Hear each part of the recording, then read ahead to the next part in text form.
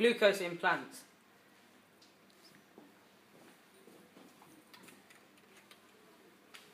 Process of transporting dissolved glucose through the phlo- phloem tissue. The phloem tissue contains of two cells, sieve cells and companion cells.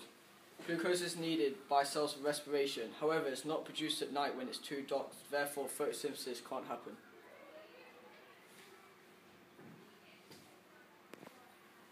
Plants and algae store glucose as insoluble products. This contains starch, fats, and oils.